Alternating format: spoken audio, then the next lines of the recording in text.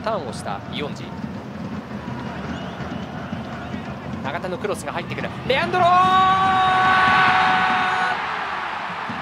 やかレアンドロヘディングシュート！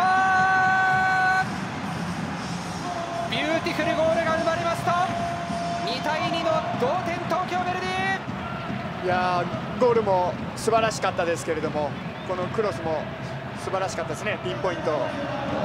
ドンピシャですね、まあ、レアンドロ選手のポジショニングの取り方も非常にうまかったですしこのそっとこう当てるこのタイミングも素晴らしかったですね。コースも良かったですし非常にチームに大きな勇気をまた取り戻してくれる大きなゴールになったと思います。美しいゴールですね。最後セットプレーの流れの中から